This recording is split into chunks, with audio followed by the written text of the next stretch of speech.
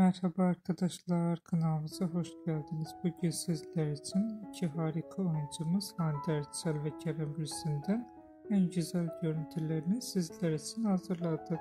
Hande Erçel ve Kerem Bürsin çifti Sen Kapımı dizisinde Eda ve Serkan karakterlerine hayat vermiştiler.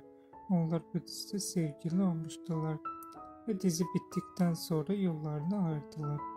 Biz de sizler için onların en güzel ve en özel karelerini hazırladık. Bu videoların devamı gelmesi istiyorsanız da kanalımıza abone olup yorum yazmayı unutmayın. Kanalımızda daha birçok video bulabilirsiniz. Bizi izlemeye devam edin. Herkese teşekkür ederiz.